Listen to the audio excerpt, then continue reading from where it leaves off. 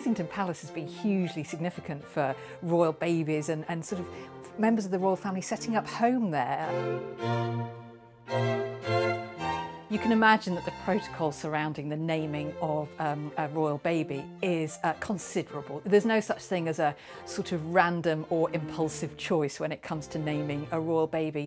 So there's a long tradition of naming kings in particular after their father. So that's why you sort of get a spate of Edwards or, or Henrys. And so uh, the braver monarchs would recall even earlier times. So Arthur was quite a popular name, sort of the legends of King Arthur being uh, something that they like to promote as part of their own ancestry. Probably the most unusual royal name uh, was Victoria. Princess Victoria's christening at Kensington Palace was a difficult day um, for everybody because um, the King, George IV, had um, refused the Victoria's father, the Duke of Kent's application, I suppose, to name the baby Victoire after her mother, the Duchess of Kent.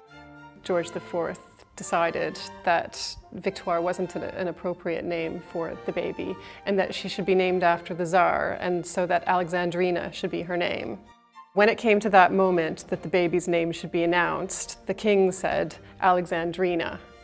The Duke of Kent then said Elizabeth should be her second name and the king said no, it should be Victoria.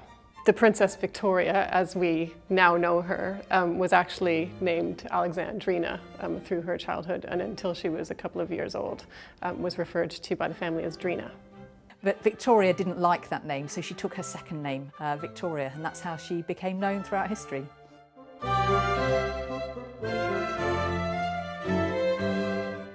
One of the most interesting stories about the choice of name involves Anne Boleyn, the notorious second wife of Henry VIII.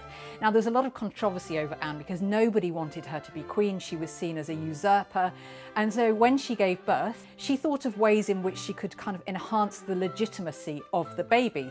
So what she did was she proposed stealing the name of uh, Mary, and Mary was Henry VIII's first daughter born to Catherine of Aragon. So Anne, Anne Boleyn thought, well, I'm going to just steal the name Mary because people will then think she's more of a valid princess. But, you know, there was so much controversy around that that in the end she was forced to concede and she chose Elizabeth instead.